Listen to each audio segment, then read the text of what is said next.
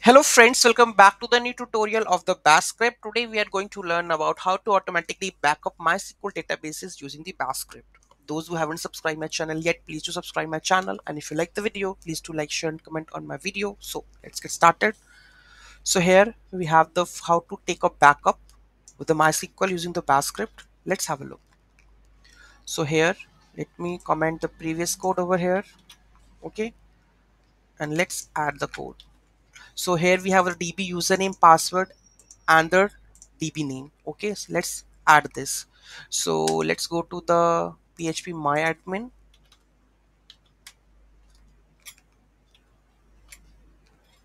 so add minor. So i can add with any of the user root. And here we go with the our password.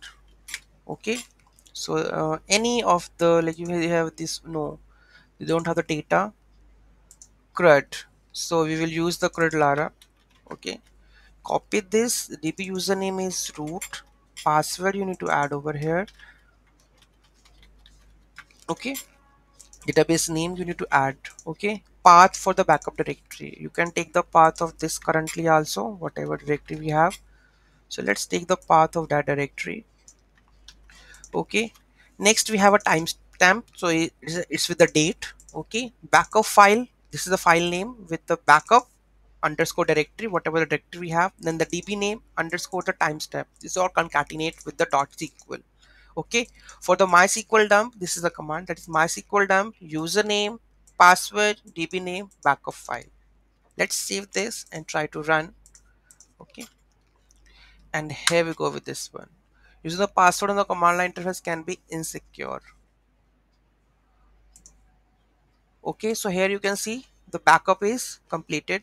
Let's open this backup. The dot sql backup right?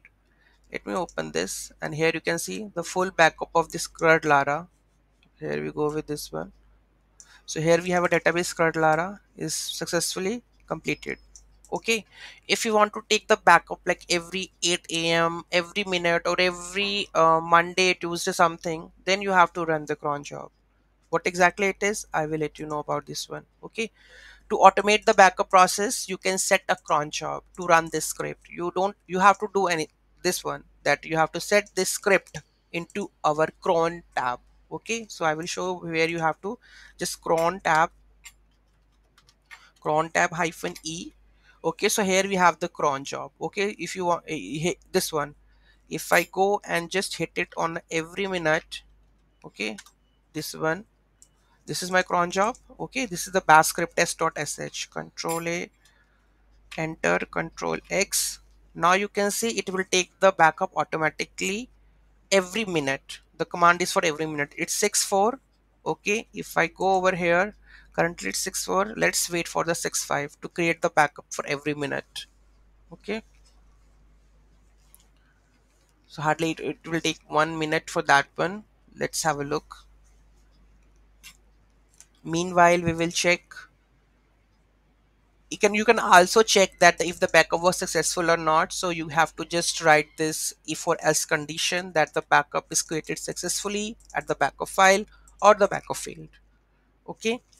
So let's go to this one. Currently there is a one backup only. There is six five.